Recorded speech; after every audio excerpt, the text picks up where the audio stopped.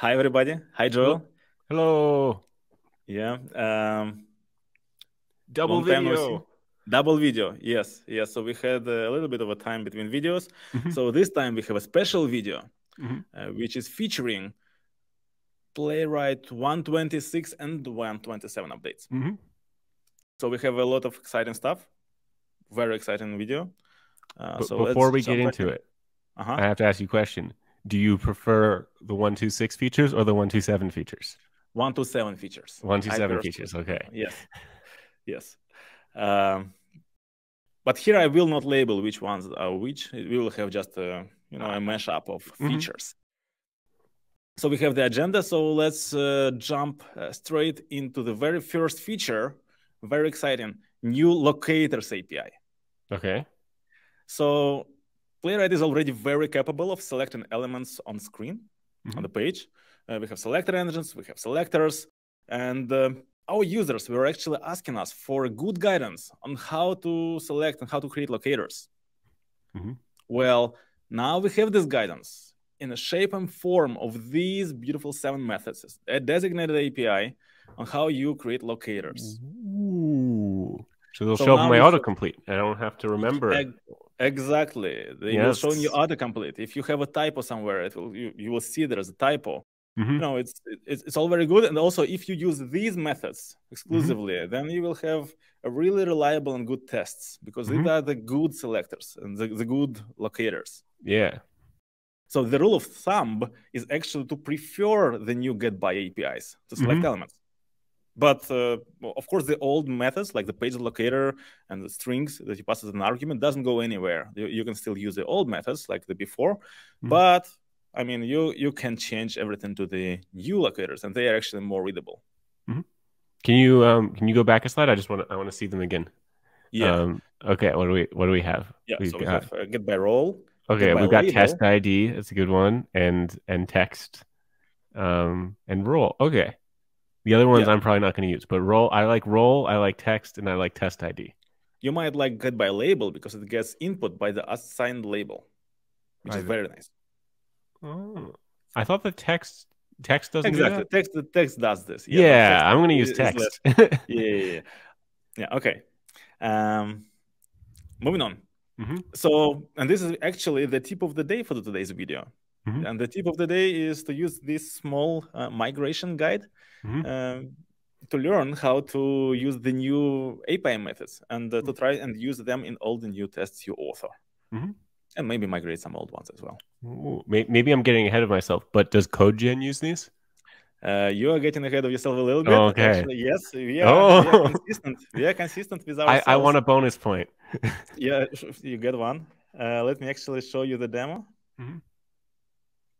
Um, so I have just you know simple project, and I will hit this record new button, and I will create a new test here.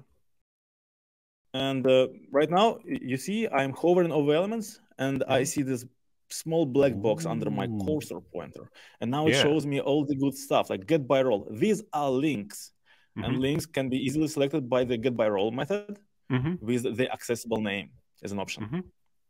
So this search one is actually a button with Mm-hmm. an accessible name search. And this is actually get by placeholder. Mhm.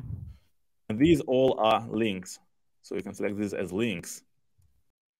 So as we generated this test, we see we have navigation and then Mm-hmm. these beautiful new APIs. Mhm. Okay, Cool. but actually, yeah, my, my browser is open behind me, right? Mhm. Because we have this show browser checkbox, and I can, you know, pick selector and uh, play around, Mhm. see how stuff works. Awesome. Mhm. So, uh, some of you, and maybe you, Joel, Mhm. might notice that these APIs are actually looking familiar. Mhm. And there is a reason for that, uh, because they are actually inspired by testing library. Mhm. And we actually have a video message from the author of uh, testing library from Kent C. Dodds Mhm. uh, about these new APIs. So Okay. let's uh, let's watch it. Okay. Hey everyone, my name is Kent C. Dodds, and I'm excited to talk with you about Playwright selectors. So, Playwright, amazing tool for testing And uh, to be able to do testing, you need to be able to select elements on the page. And so Playwright for a very long time, maybe since the very beginning, I think, uh, we've had the ability to select things on the page using this selectors API uh, where you use page.locator to uh, get things on, uh, on the screen via this string selector. And there are all kinds of things that you can select. Text, you can select um, via CSS, you can select um, you know, some more CSS stuff, uh, uh, and you can select via role. And there's even a experimental Vue and React selector, XPath selectors, good old days. Uh, so there are lots and lots of different ways to select things. And, and there's also even a role selector, uh, which is pretty rad. But there are just so many ways to select things um, in with Playwright that it's difficult to know which one of these tons and tons of different ways to select uh, you should be focusing on. And uh, the other problem is it's very difficult to get uh, type uh, completion for this, so discoverability of these different ways to select things is kind of difficult. Um, there's not really a good guide on which of these different selectors you should use, and if you make a typo, there's no uh, type uh, help there, so it's not going to tell you that you are selecting things wrong. So for example, if we're using one of these role selectors, and we misspell role, for example, there's nothing there to um, help us see that we've gotten something wrong. And so this is one problem that I presented to the Playwright team. Uh, and I talked a little bit about my guiding principles for testing. Uh, the more your tests resemble the way your software is used, the more confidence they can give you. And uh, that's from Testing Library. I created Testing Library years ago to make it easier for developers to test their software. And um, it, Testing Library is focused on DOM and selecting things on the DOM, interacting with the DOM. And Playwright has a great way to interact with the DOM, but I thought that the selectors were a little bit lacking and, and could be improved. And, and so I asked them to investigate looking into how we do things with testing library in selectors. And in fact, there's actually already an implementation of testing library with Playwright uh, that is not listed here. So it's uh, Playwright testing library uh, that you can find here. There's actually a couple different modules for this, uh, but already the testing library selectors are usable with uh, Playwright, uh, specifically the at Playwright testing library uh, slash test is probably the one that you would want to use until the release today, but um, or that we're talking about today. So um, the ability to get uh, by, well, by test ID, don't recommend that one. And in fact, um, yeah, don't worry about that one. But uh, getting by label text and getting by role, uh, getting by text, all of these um, were added uh, capabilities to Playwright. And I, so I started using these and recommended to the Playwright team to investigate adding these.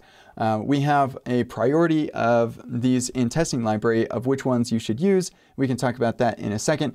But I was really thrilled that the Playwright team listened to my feedback and uh, decided to add these. I think they even had conversations about doing this before I started talking with them. So we're very much aligned in the direction that we want things to go. So uh, as inspired by Testing Library, uh, writing locators is a joy in a very good way. Um, so I guess I should have added the, my star a long time ago. You should add yours.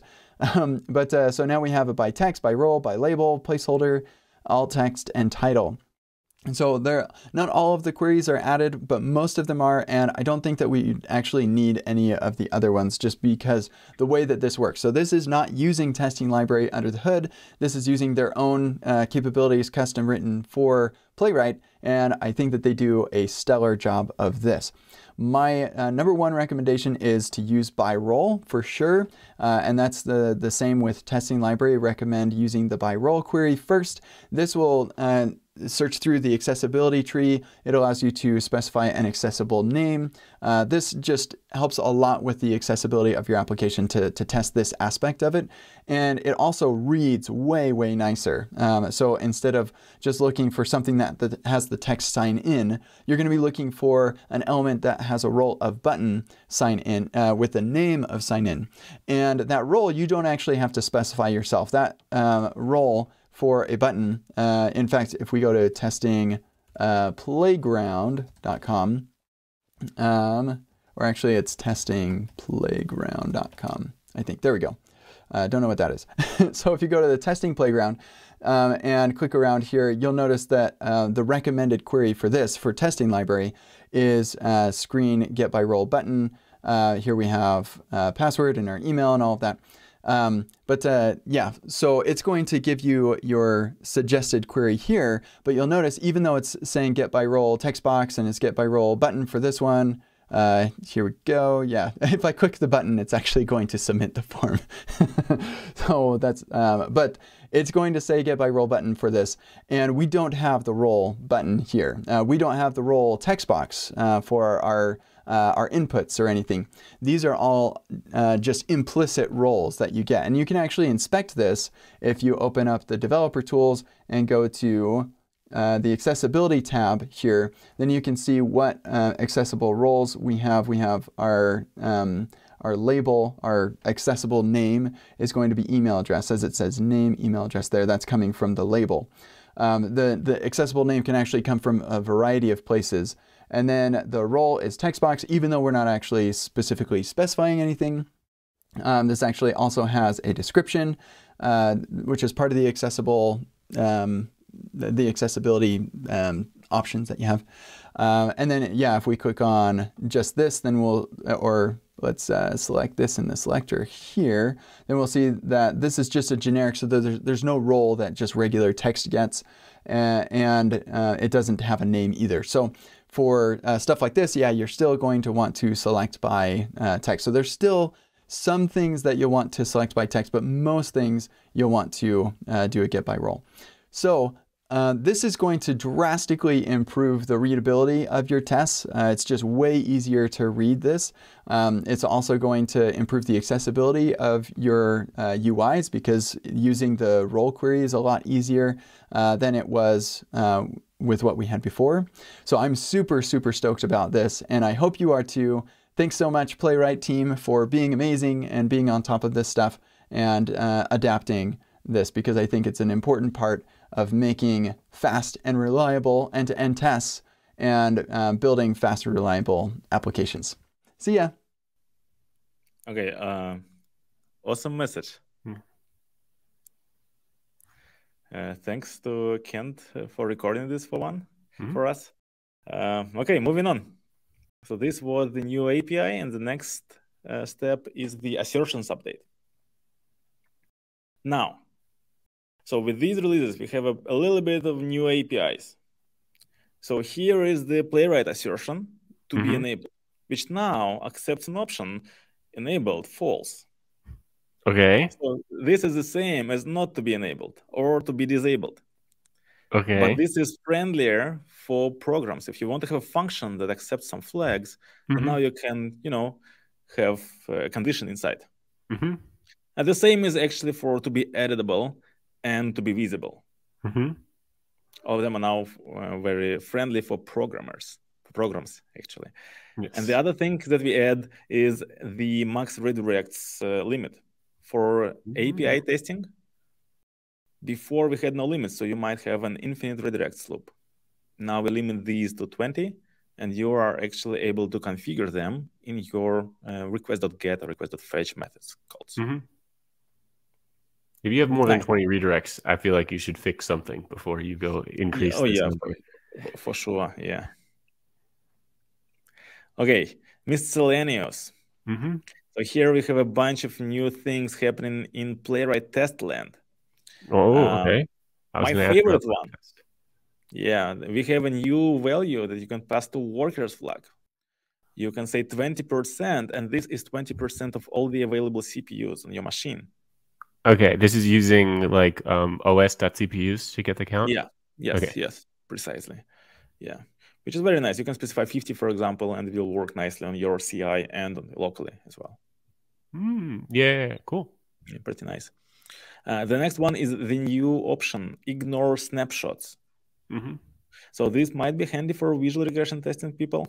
Uh, sometimes you can have a mode when you're actually ignore the too much snapshot and to have screenshot uh, playwright assertions. Mm-hmm. You might also have this a config option. And the so last one. Wait, uh, no, I, I want to go back to that one. So, yeah. um, I, I, I can guess when people would use this. but but can you tell me when when should I use this? Because it's, it's a little Uh, strange to ignore my snapshots, right? So, for example, you have a test that is actually functional, but that just takes a screenshot in the very end and compares screenshots. So the functional part of the test makes sense on any platform and any browser. Mhm. But for the screenshot tests to work, you usually want to run them only in a very pretty good and well-defined environment. For example, in a container or on very specific, you know, Linux machine. Mm, Okay. So, So so, for the local okay, ones, you so- can use ignore snapshots. And got it. So like I can I can in a Docker container I can run my full tests and have my snapshots and my screenshots and everything, and then um without container, just in okay, okay. So, so or Windows. this, this is ignoring image snapshots. Uh, say, say it again. The, the idea of this is to ignore image snapshots, Yes. Yes. right? Okay. Yeah. Precisely. Um, and then when I'm not running when when I'm not running in a Docker container, but I still want to run it because I want it to be easy to debug or something, then I can pass this flag in and I can debug the rest of my test. yeah. Got it. Good. Uh, next, uh, the option to configure the bind location for HTML report server. So currently it defaults to localhost, and I think it's uh, 9223. But if you serve it from inside the Docker container, you can now specify on 0000 as a host location. And this way it will serve from inside the Docker container to your host system. 9223 is a suspicious port number because that sometimes gets used as a dev I agree. port number. I agree. I, I look at this port and I'm not sure anymore that we use this one for. yeah. Yeah. Yeah. Um, port is a string? Should be a number, by the way. I think. Yeah, it should be number. Error, on the slide. Yes. Thanks. Uh, okay. Uh, so this was it. So what do we have? We have new locators API. Mm-hmm. Basically, the new preferred way to select elements on page. Mm-hmm. We have new assertions update, and we have basically max redirects for API testing and uh, program friendlier Playwright assertions for to be enabled to be editable and to be visible. Mm-hmm. And we have miscellaneous improvements for Playwright tests, such as workers value and ignore snapshots, and uh, better HTML report uh, serving configuration. Cool. So this is it. If Can I like make, what we yeah, uh, yeah, Requests for the next video? I I, Sure. I, I don't get to set the the um, roadmap anymore, but I, I can I can make requests, right? sure. I want to see um uh VS Code extension updates, Pi- Pirate VS Code extension, Okay. and I want to see something about uh, uh, uh C sharp or Python or Java. Okay. Yeah, yeah, very valid. hmm We'll, we'll probably. Although I. I did I did like these two updates. Good updates. hmm Um, yeah. Okay. Uh, last thing. Last. Uh, we have a bunch of social channels. Feel free to follow us on uh, Slack and Twitter and uh, YouTube, and give us a star on uh, GitHub if you like yeah, we like Kent did. Yeah, like Ken did. Um, thank you, Joel. Thanks, everybody. Hey.